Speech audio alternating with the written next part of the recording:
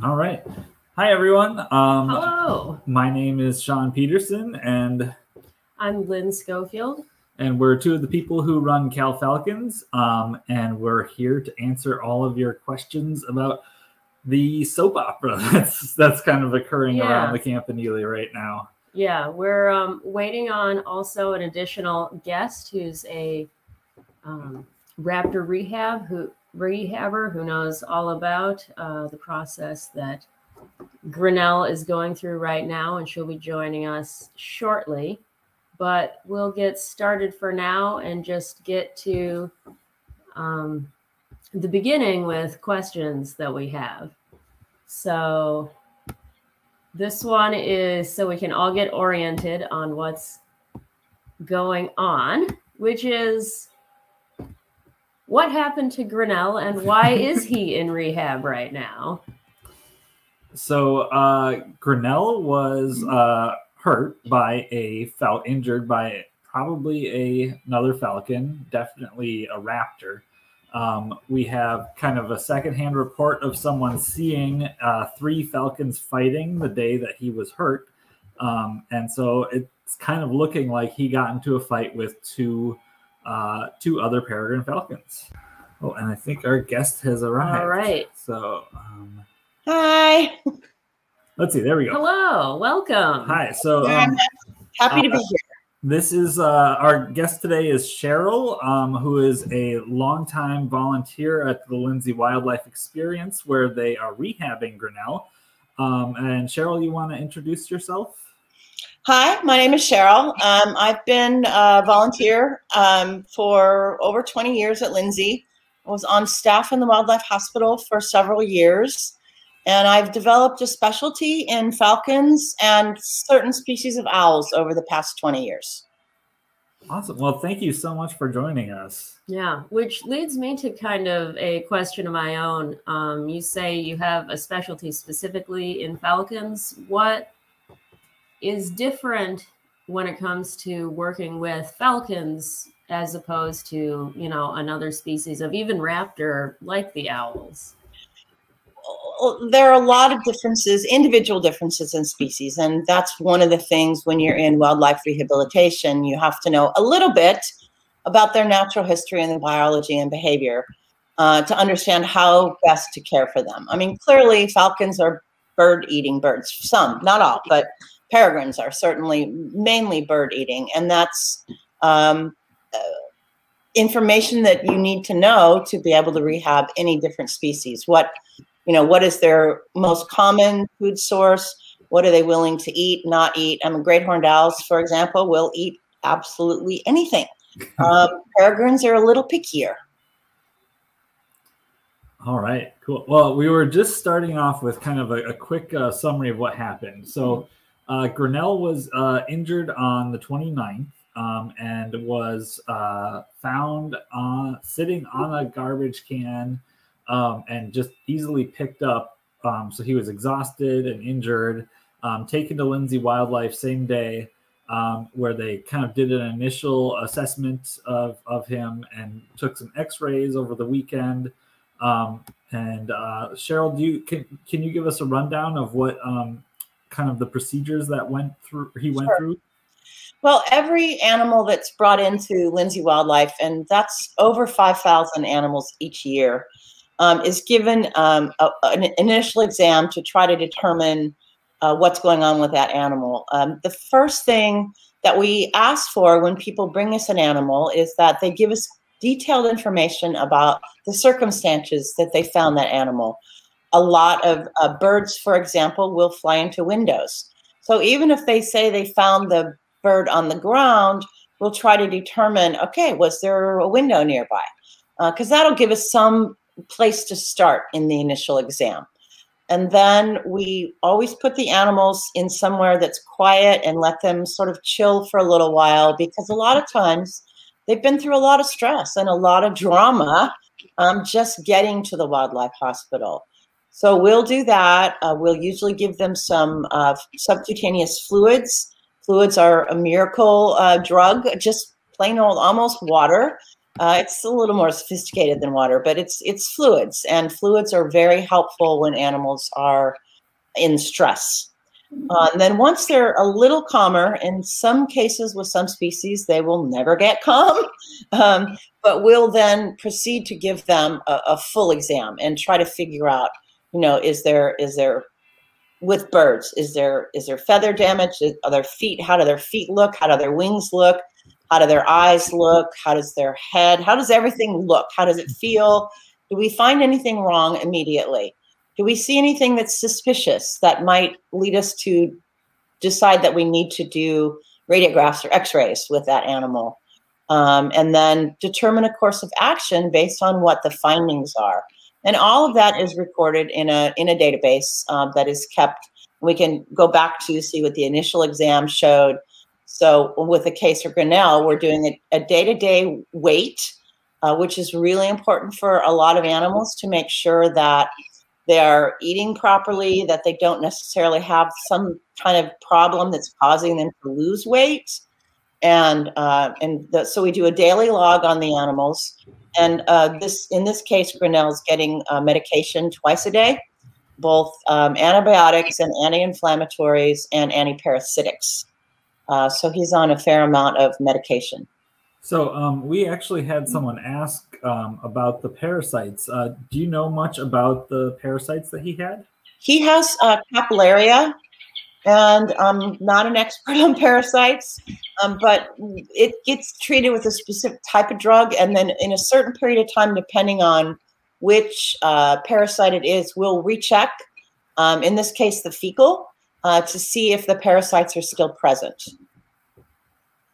Um, and then uh, the question uh, asked is, um, could the rivals have sensed the, that he had a parasite and gone after him uh, because of that? What do you think, Lynn? Um, I don't know. I don't know if I could speak to whether or not the rivals could sense that. I mean, it's pretty common for wild animals to have some amount of parasite load, so I wouldn't be surprised if the rival also had parasites at the same time. but on the other hand, a very high parasite load uh, can have, you know, really big effects on the survival of animals. It's especially true for young birds and falcons. A high parasite load can actually make it harder for them to uh, learn to fly in the first place. Yeah, and also, of course, a lot depends on what kind of parasite. I mean, many animals come into us with external parasites, fleas, ticks, um, all kinds of external um, flying things that get onto birds. Um, and then there's the internal, the stuff that's found in their fecal. Some sometimes there's parasites found in blood. Uh, so it, it's it's quite variable. Who's this on the? Uh, I think we have Annie on the nest. on was, the nest right now. We have we have Annie, so we're switching to, to the, the screen with Annie on it. Um, but what I'm I'd be interested to know is how common is this capillaria parasite? I'm sorry, ask the question again. Uh, how how common is this capillaria parasite? it's not uncommon. Um, it's not the most common parasite we see, but it's not uncommon. All right. Uh, should we a- a- answer some more questions? Yeah, I think you had some. Um, yeah, I figure. So this one departs a little bit from the wildlife rehab part, but people are pretty interested in this. I've seen several questions in this vein. Um, so Annie, who's in the nest box right now, and the new guy seem to be cautiously showing some bonding behavior. Uh, does Grinnell have a chance to regain his territory? Um, is there any chance that once Grinnell returns, Annie will help drive off the new guy? That's uh, a really good question. And um, we don't have a, a, perfect answer for it. It really depends on the individual. Um, you know, all, all of these birds are uh, they have their individual personalities and characteristics and how aggressive or defensive they are. And um, we just saw Annie do a little bit of a scrape right there. Yeah, so which already showing some interest in nesting. And here I'm going to hide the question because you're getting covered, Cheryl. Yeah, yeah that's okay. covered. Um, Yeah, that that was interesting behavior. This is a little early for that. But, yeah, she yeah. We, we have seen her do it year round. Oh, okay. Um, but uh, I think it, she's been doing breeding behaviors more with the new guy in the picture. Mm-hmm. Um, so I think she is kind of showing that she's receptive to his, his courtship. Um, it when Grinnell is released, um, we just don't know if he's going to go back to the territory um, or if he's going to try to go somewhere else. If he goes back to the territory, if he'll try to compete um, and how he'll do. And I don't think we really know how Annie will respond to him being back in the picture as well. Um, she may just let the two males duke it out and uh, and and wait to see who the victor is. Um, yeah, it's most likely that Annie's going to stay back from any sort of conflict between the two males. Annie's most interested in maintaining her own territory. And so getting involved in a conflict between two other falcons puts her at risk of getting injured herself. Although she does, because Grinnell has been mate for a long time and they have been very productive and successful, um, Annie does favor Grinnell potentially a little bit. So I don't know for sure, but my guess is she's not going to get involved. And we should also mention that um, from the reports that we've had and, and, and kind of what we know might have happened, um, Grinnell may have been in a fight with two birds, um, a male and a female. The unknown female is still around the campus, but hasn't been seen aggressively going after the territory or. Yeah. Um, the female has been, the unknown female has been keeping her distance, which yeah. indicates to us that Annie uh, Annie is remaining dominant, and this other female may be biding her time for a chance to move in, but does not seem to want to make that move. And so, if Grinnell does come back, he maybe have an entirely different fight ahead of him than he did the first time around. He might be going one on one with the male rather than fighting with both the male and female. Um, so we'll, we'll see. Um, you know, this is all depends on uh, Grinnell having a recovery that is um, successful um, and and being able to be released. All right, let's see. All right, so we'd like to hear a little more about the process of Grinnell getting ready to be released. Will he have a chance to fly in an aviary, or is that too dangerous for a wild bird? How is he getting prepared before he gets released back into the wild? In in general, um, with with birds, we we do try to get them flight conditioned before they are returned to the wild. So we have different kinds of aviary setups for different species of raptors. Um, in the case of a peregrine, he can certainly, and Grinnell could certainly um, get flight conditioning in one of our large large flight aviaries. But sometimes if the turnaround is quick, it's it's we prefer to get them back out there. So it's kind of going to depend with Grinnell on how long he ends up being in care. If if it's um, another few days from now, this week, uh, he might not go to a flight aviary. He might just go straight out.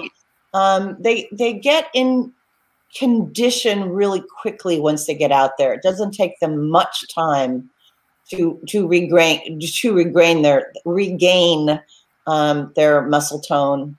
So it kind of depends on how long it ends up being in care. And with some falcons, and this is not the case with Grinnell, but some that come into us with, for example, a wing injury like broken bone or something, we may not put them in a flight aviary, but we might condition them through falconry techniques. Uh, and that's a, a whole different process. There aren't too many species that we do that with normally, but we do do, do that fairly often with peregrine falcons. Then we had another question kind of about the aviary and, and caring for Grinnell. Um, but uh, is Grinnell fed live or dead birds by hand, or um, is, are they put into a cage with him, or how does how does that work right now? For Grinnell in particular, he did not eat the first couple days he was in care.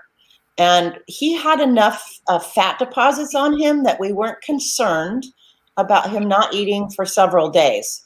But we, it's again, that's why we watch really closely what's going on with the birds. We weigh them daily. And uh, we were get, just getting ready to start um, hand feeding him, or in some cases, we end up having to tube feed.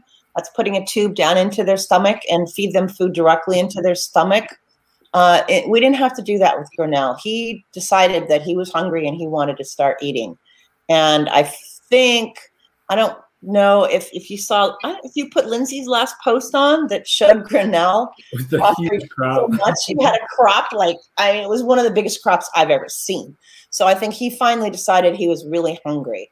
So specifically to answer the question, we feed only dead food um, unless we are having to prey test birds that might have eye problems or young birds that have never caught live prey. Then we do live prey um, in a flight cage. Uh, but with Grinnell, um, the food is placed into his hospital cage and he can choose to eat when he wants during the day. So when Grinnell kind of gets close to, to um, being released, how do you decide uh, where he will be released? Well, I'm actually going to leave that up to uh, Cal Falcons and Santa Cruz Predatory Bird Research Group. Um, yeah. yeah, I mean, th- this normally, if I'm going to release a bird, an adult male uh, that has a territory would go right back to his territory. Um, but once I have birds in my care right now, a great horned owl, for example, that I know has lost her territory. So I can release her in the areas because she'll know where she is but I might not release her exactly where she was found because of the potential for conflict. So that's the that's the decision that um, people that know more about falcons than in terms of their territoriality than I do. Uh, I've rehabbed falcons. Um, we released an adult female that had lost her territory. We released her oh, about 20 miles away from where she was found and she made her way back to the territory and fought with the um, the the female that had taken over her territory. So she went back on her own. We didn't release her back into her territory because we knew that there was a high potential for a problem. In this case, it's a little iffier because these two, these two, the interloper and and uh, Annie have not completely bonded. So I'm going to leave it up to people who know know better than me as to where the where Grinnell gets released.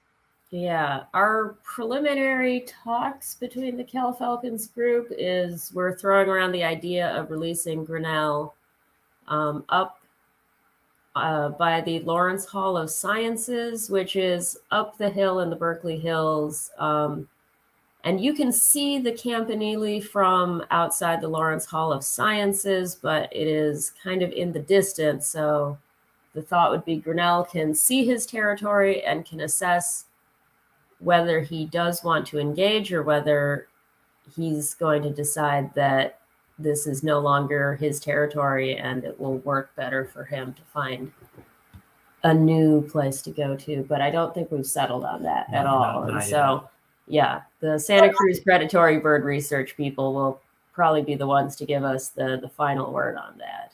Yeah, and I don't know that there is any right answer to all this anyway. It's it's a best guess and a best guess scenario. Um, and you, we just do what we can do and hope that things will work out because we just don't know what's going to happen. Yeah, if, if Grinnell wants to go back to his territory, he's going to go back to his territory no matter where we release him. Um, yes. Birds have an unbelievable navigation ability uh, to return to um, places that they know. Um, so you know, we can't like be like, well, he's lost, but we want him to stick or, or still live, so we're gonna take take him to a new place and he'll be happy there.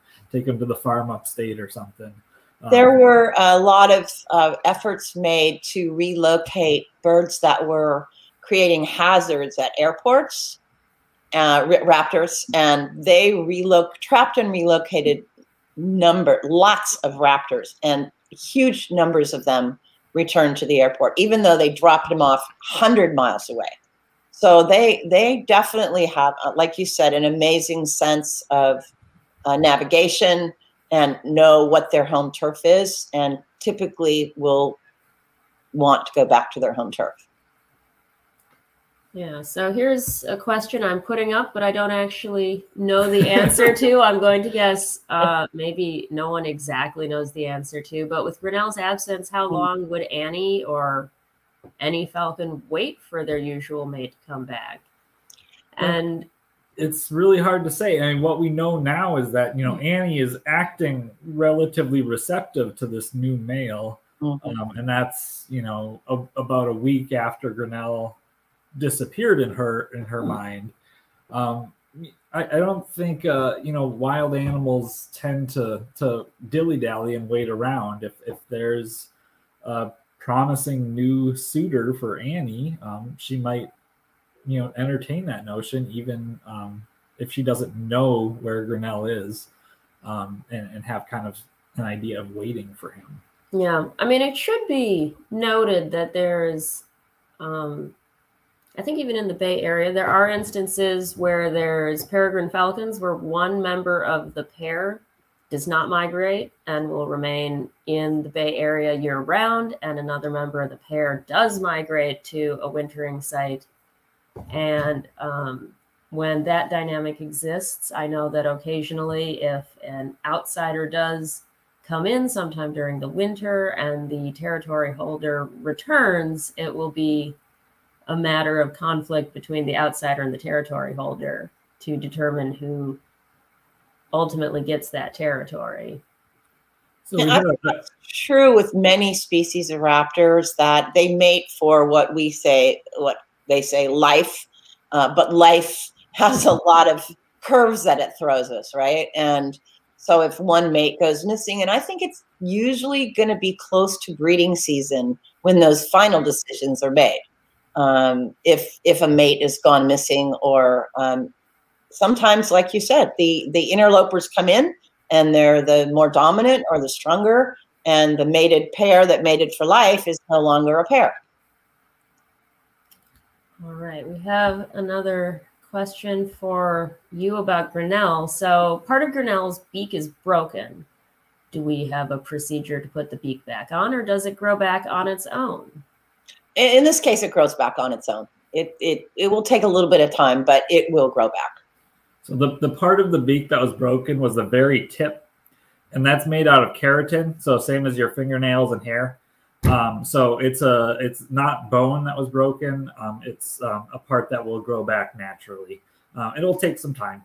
Yeah. Well, and the part that's broken in captivity sometimes will actually the tip of the bill will become overgrown and uh, keepers or whatever will have to actively kind of file that area. So, um, yeah, we know that that that will grow.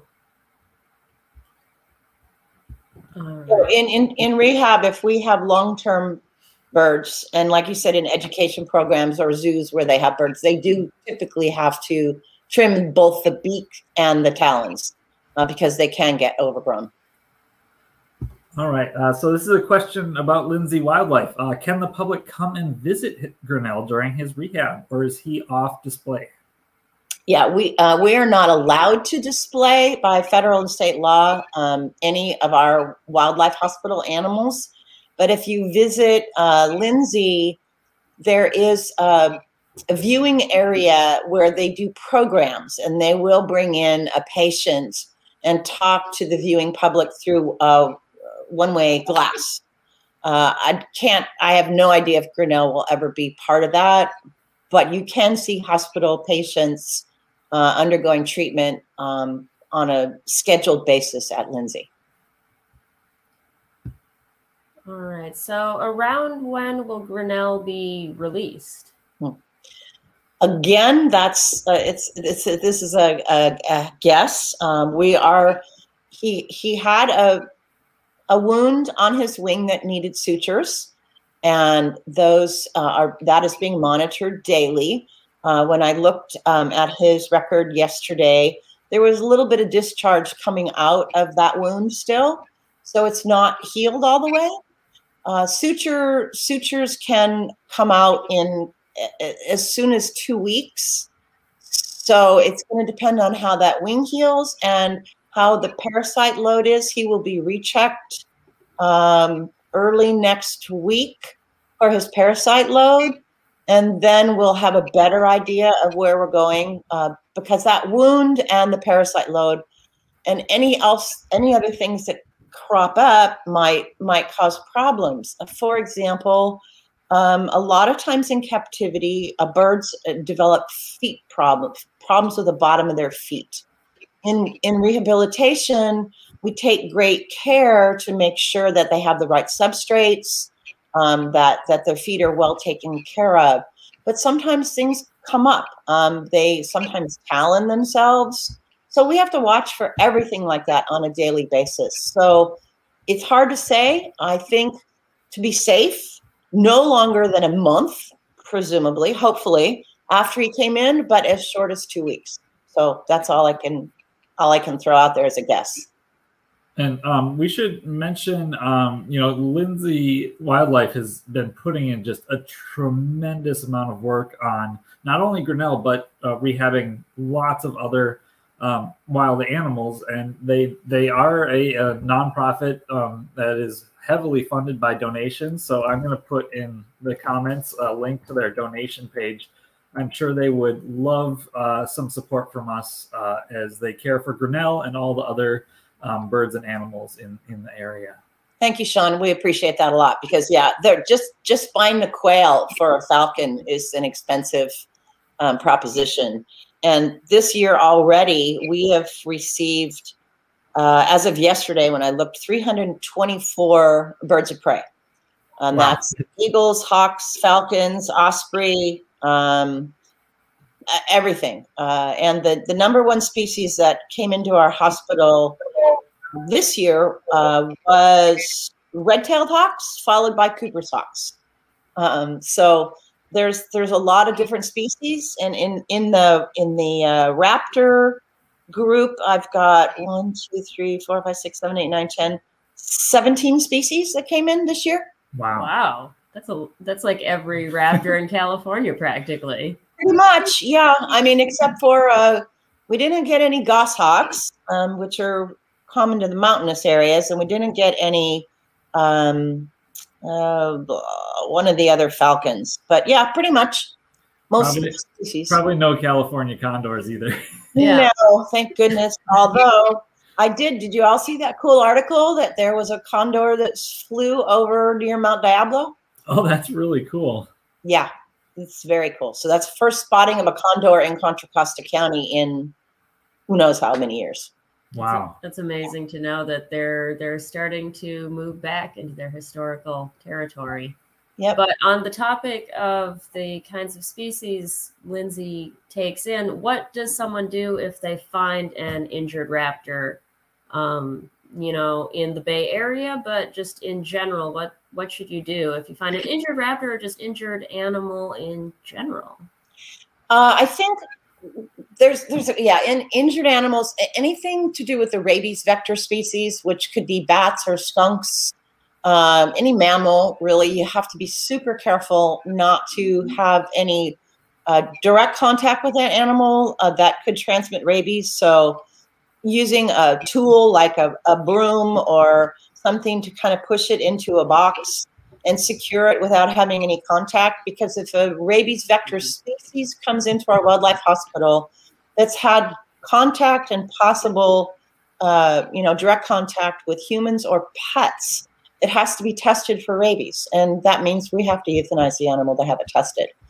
Um, then, if there are other circumstances, like if you find an animal in barbed wire, uh, cut, don't try to take the animal off the wire cut the wire and bring the whole thing into us because we unfortunately have gotten to be quite expert at trying to remove barbed wire without causing further damage.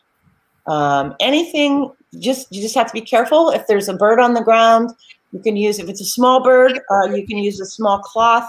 If it's a raptor, you can use a big towel and put it over the animal, gently pull in its wings and get it in a box and keep it in a warm, dark, and quiet place can, until it can go into a the nearest wildlife center because there are several around the Bay Area.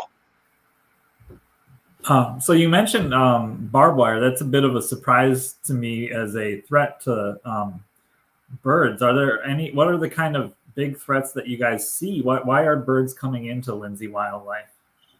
Well, just the huge amount of reasons, and again, depending on the species. I mean, with the raptors, they're not so likely to be cat caught, cat or dog caught. But um, young birds that are just learning how to fly that are on the ground are very susceptible to cat and dog attacks, and that's probably one of the number one reasons that animals are brought into our hospital. But in terms of raptors, windows are a big problem. Barbed wire, gunshot victims, uh, cars, vehicles in general, and uh, what am I missing? Hmm, I think that's, oh, and uh, rodenticide, rodent poisoning. Secondary poisoning from uh, people who are using rat poison. Uh, so we strongly recommend not using rat poison because there are a lot of unintended victims of rat poison that go to eat a dying rat or mouse, including our pets.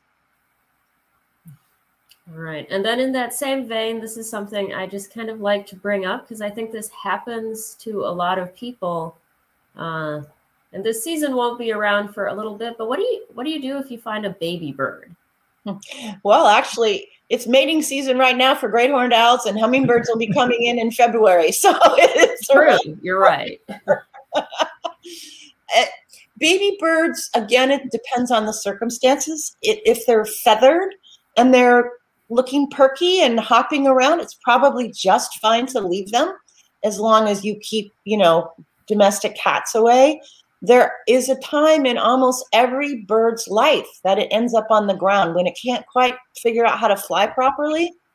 And we've gotten a number of uh, peregrines in that this has happened to. When they fledge, they go, uh oh, what do I do now?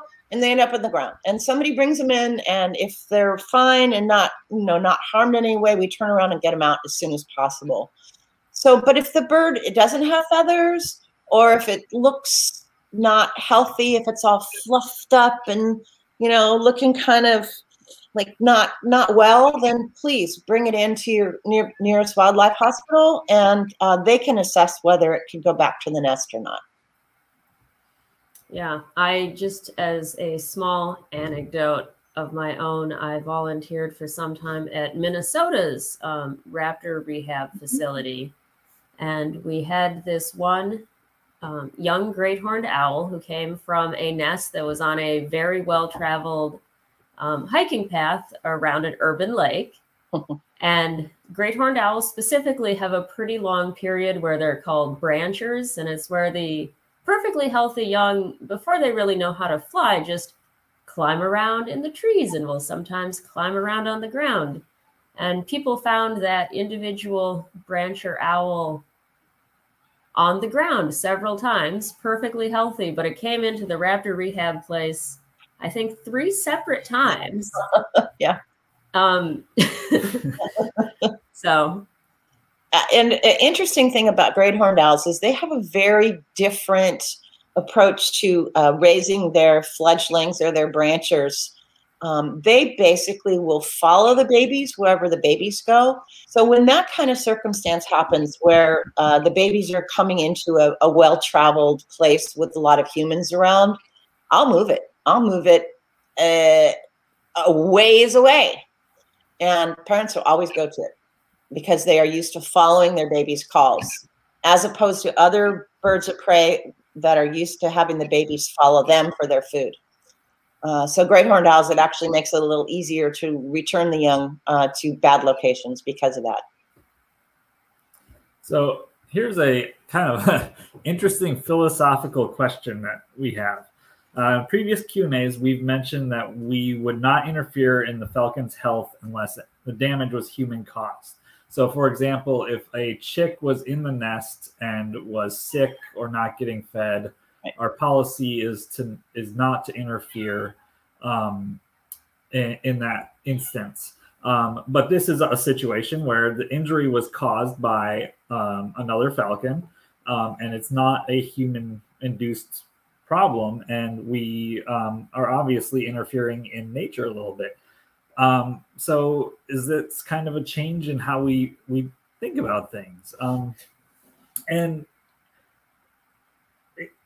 I don't know if I have a great answer for it. So I, I do have an answer for this, and we'll see, Cheryl, if you feel the same way. So when we say we're not interfering uh, with the natural process, we're especially talking about these young birds that are being raised by Annie and Grinnell. Um, the survival rate for a young raptor is not very high.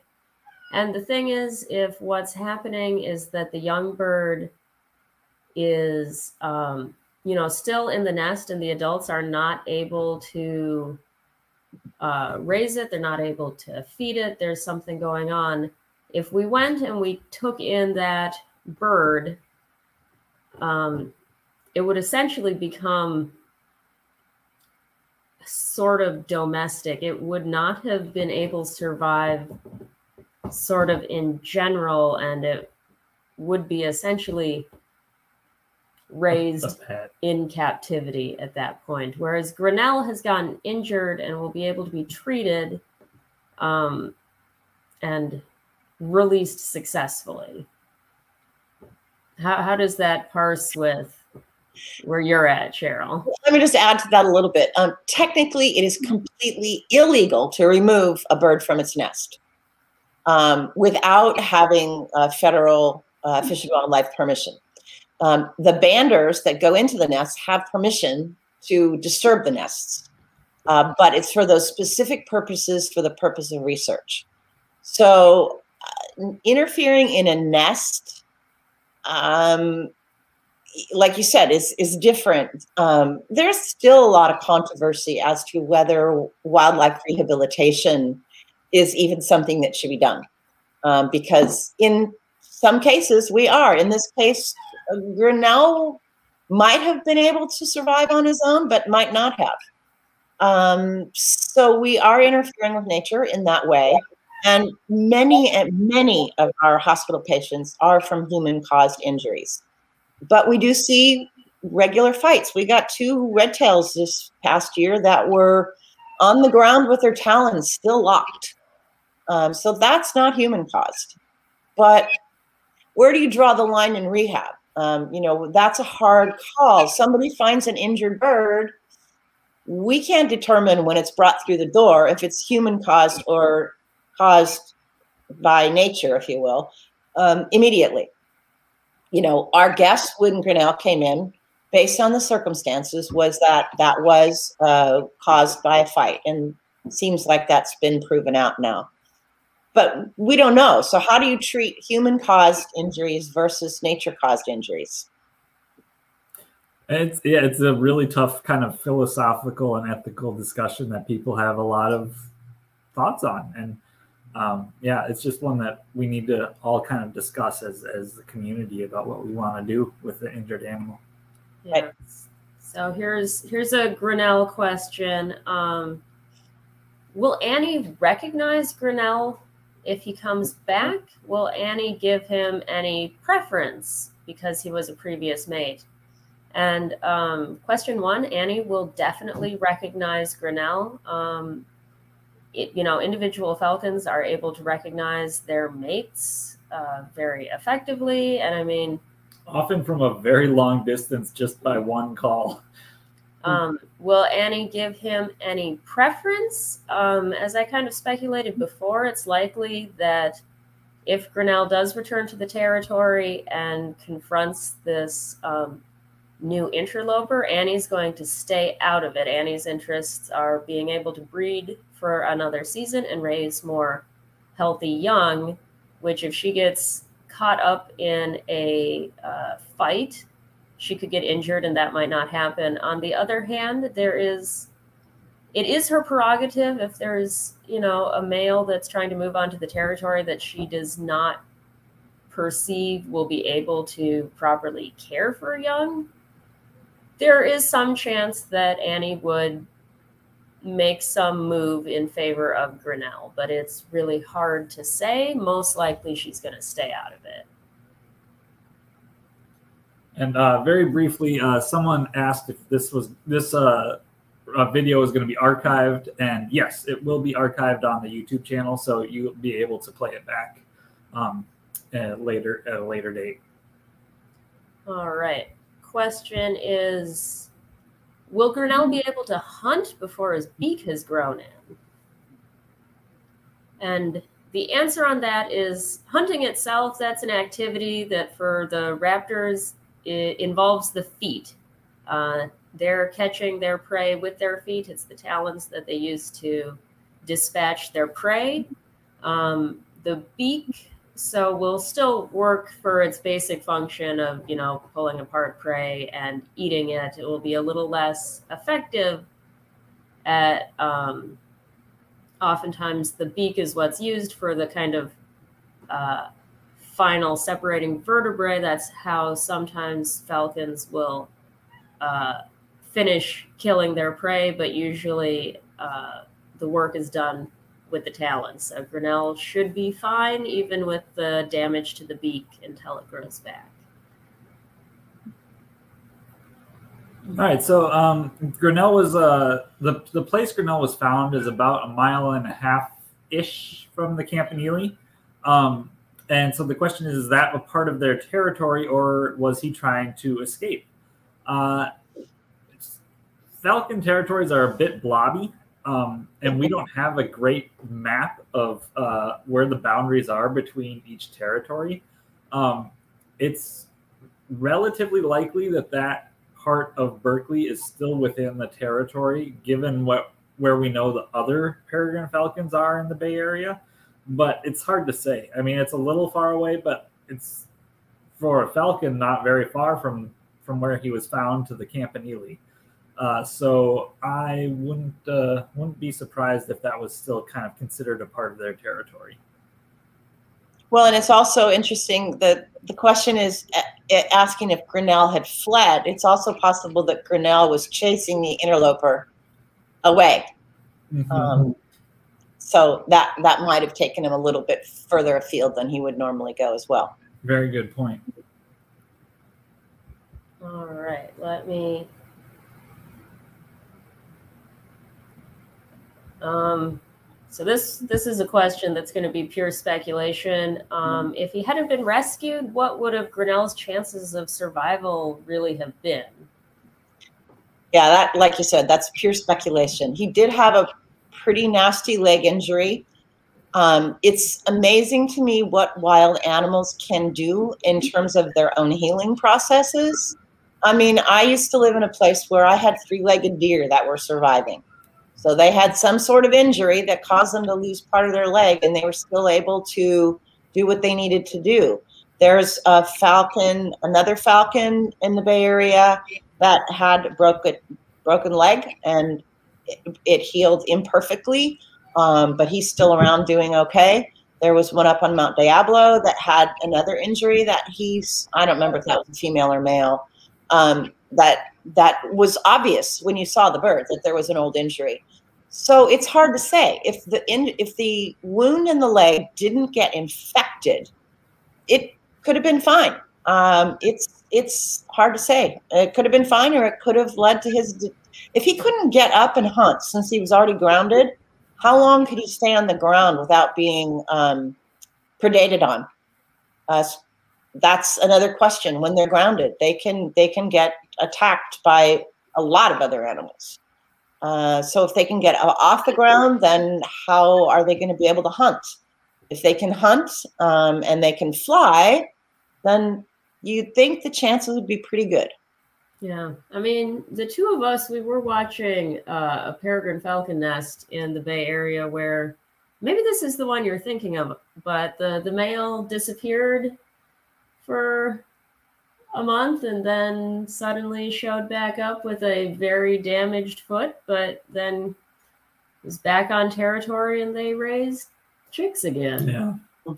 And in the Minnesota area, I was involved in monitoring a nest where the male was this tiny little male falcon and he was missing several of his toes on one foot. And in theory, you know, those feet are what they need to hunt and survive. But that falcon was not only successfully raising uh, a brood of four chicks, but also had um, cached prey just stacked deep all over the place. So even with those injuries, this male was able to do well. And so it's hard to speculate if, you know, Grinnell would have been eaten by a cat in, you know, 10 minutes or if Grinnell would have been able to sit on the ground, get strength back, get back into the air eventually. So hard to say.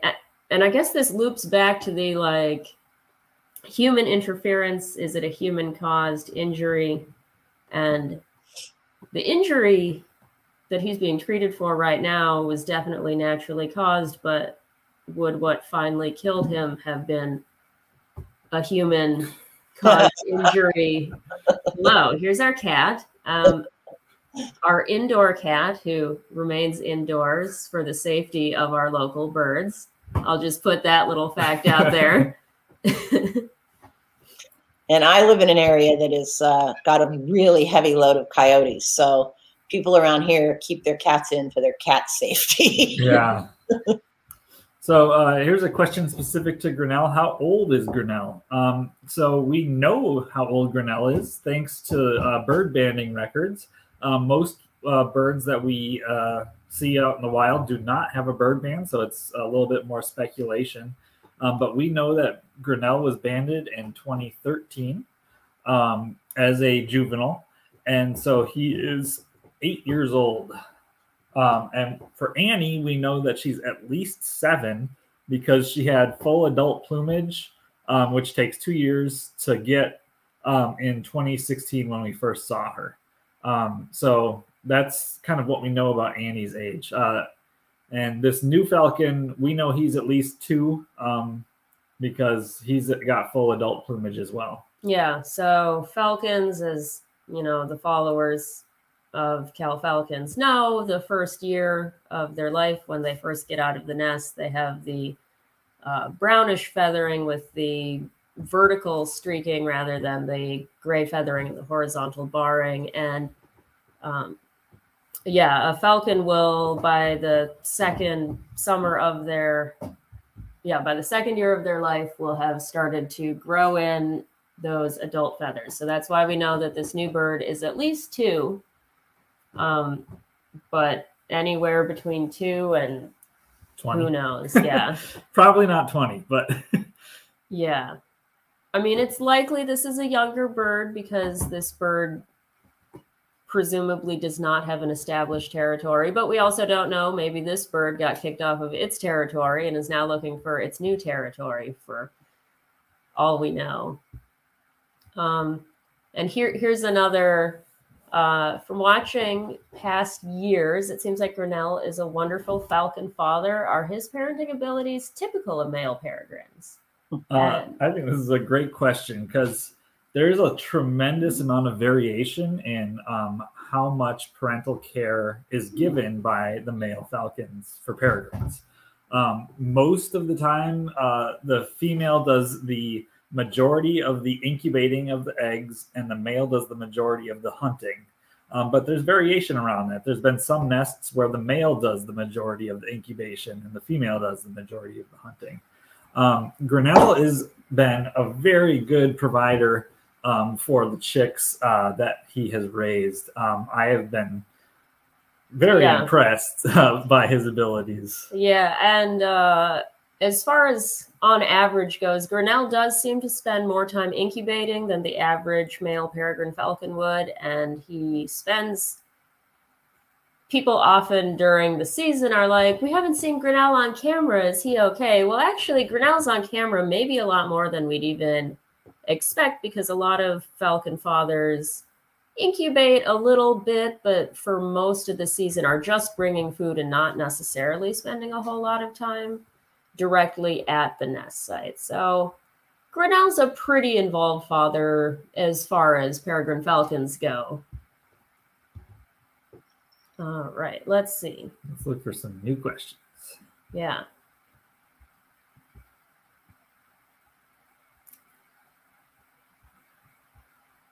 Um, let's see. A lot of comments about the cat. yeah, there. You know, the internet loves cats. Um, so Annie is unbanded. Um, could Annie be banded now? Uh, so if something happens, would they know what happened? Um, so Grinnell already is banded.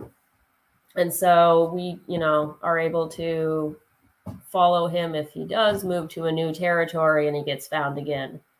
Um, Annie is the one who is unbanded. Now, if hypothetically Annie ended up in rehab, she would get banded. Am I correct? Most likely, we we do. We don't have a banding permit, but with the peregrines, I would reach out to Santa Cruz Predatory Bird Research. I have a female uh, first year bird in my care now, and uh, as soon as she's ready to release, they will band her for me.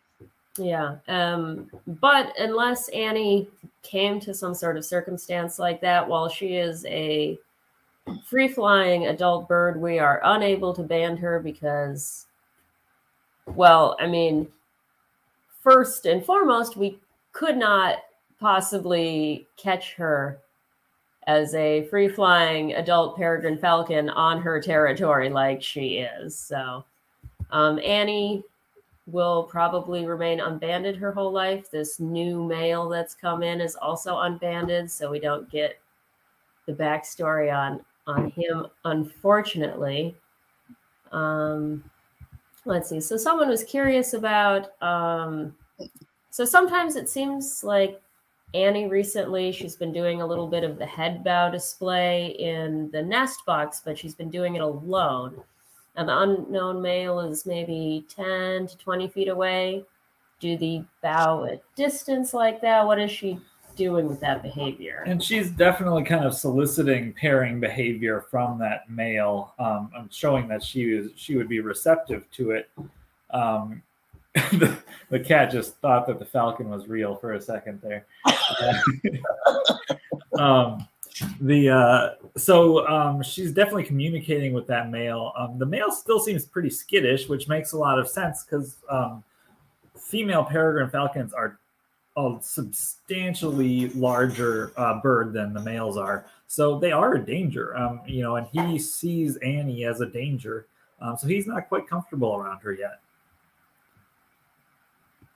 Yeah. And then we have someone just, you know, kind of putting out, and this is a feeling I have myself. So, you know, the conflict between Grinnell and a new guy is sad, but it's also great. The Peregrines have recovered from, you know, pretty close to total extirpation from the entire US so well that there's enough Peregrines to have this conflict that there actually is active competition at territories um, which wouldn't have been happening 30 years ago at all because there were barely enough Falcons to take up any territory. Well, and I think we should ask Cheryl uh, uh, on, on, this vein, like in your time doing wildlife rehab, you've seen the peregrine falcon kind of come back.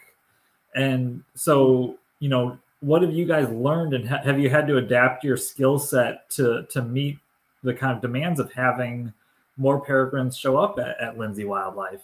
Well, and actually, that's the reason I got my falconry license because we were getting at one point, I think it was, I don't remember what year it was, but at one point we had like five or six peregrines in our wildlife hospital in one year, which I mean, used to be we'd get a peregrine and it was like, oh, we got a peregrine, we got a peregrine. Now it's like, oh, we've got another peregrine. we do, unfortunately, get them in. And um, that's why I got my falconry license because peregrines are unique in the way that we need to manage them, as I said earlier. Uh, and yeah, so that definitely changed my behavior. It changed the behavior of us, of the hospital, in terms of how we work with other falconers um, and what we do to try to do the best we can do to rehabilitate falcons. Uh, yeah. Peregrines, I should say, because I also work with merlins and kestrels. Yeah, so that kind of opens up. I'm sort of curious about uh, how do you end up with a falconer's license? You know, how how you know how does that process work, and how does falconry you know play into the raptor rehab and raptor recovery stuff? Well, falconry to get a falconry license is, is quite a process. You have to get a sponsor of an experienced um, master falconer and uh, then you have to work with that person for one to two years. uh, training in technique of falconry, and you have to take exams and um, pay fees and, and pay annual fees, you know, all that kind of stuff. But uh, what, what I was most interested in was the technique because with peregrines, the youngsters or or those that come in with, you know, like I said, broken wings, we can't gauge their flight. We can't gauge their hunting ability in any kind of flight cage. Eh, eh, given the biggest flight cage we could build, I don't think we could gauge it. So falconry techniques are used for us to really be able to assess if that bird is releasable or not. Um, I've had several that have been released, and I've had several that couldn't cut it in in the way they were flying. Uh, so this given us a, another tool in our ability to assess releasability on on on the birds of prey. Um, so we have a, a, question on who the new new guy is. Um, is it possible the new guy could actually be one of Annie's former chicks? Would that be problematic? Um, and we actually know that it is not one of Annie's former chicks um, because it is uh, unbanded, and all of Annie and Grinnell's offspring are banded. Um, there's maybe a slight potential it could be one of their grandchildren from Alcatraz, um, where they haven't been able to band ban the chicks at Alcatraz that are their grand chicks. Um, but um, well, their grand chicks aren't old enough. Oh, you're right. You're right. The grand the grand chicks aren't old enough. adult enough. plumage yet, anyways. So. Um, so no, we we we know it is not one of their kind of immediate descendants, um, unless it's a, an unknown grand chick from an unknown location, uh, which is not super likely.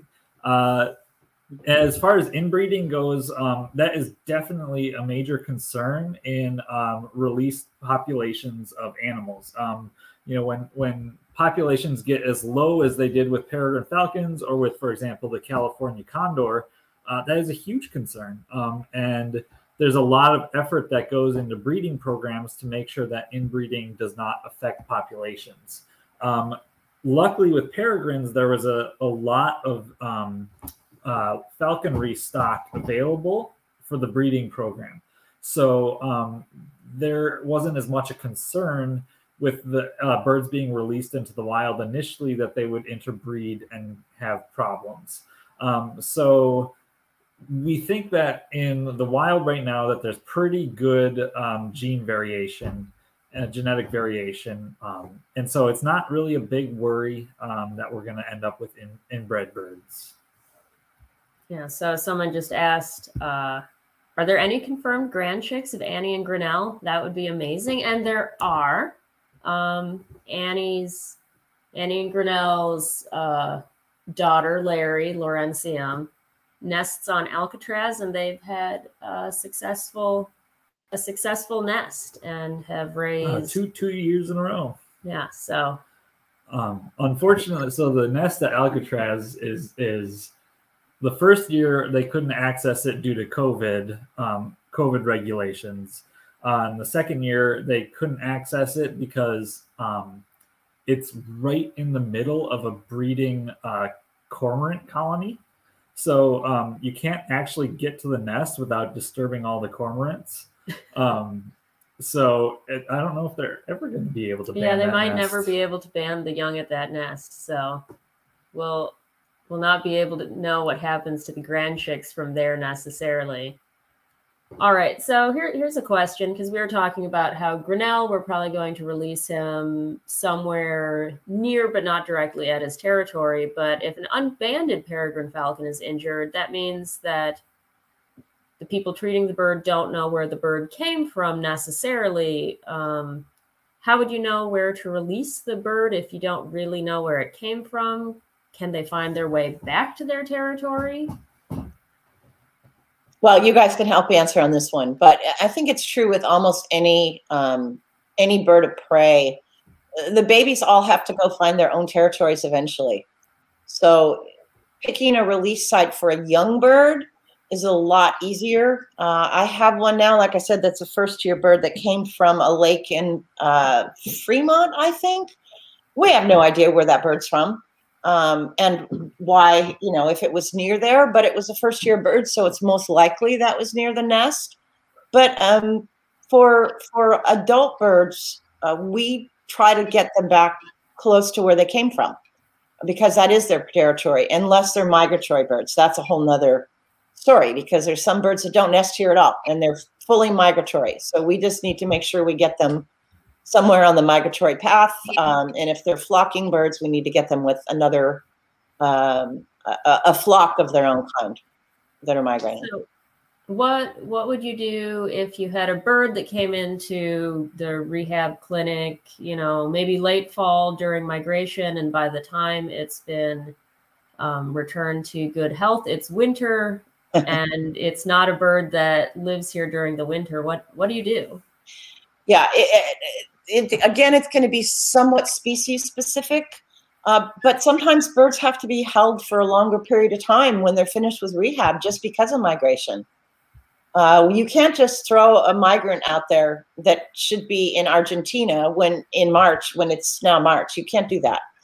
So um, it's it's on a case by case basis. But most of the birds that we get are are not necessarily migrate. Some do migrate. Um, I'll use an example of Swainson's hawks.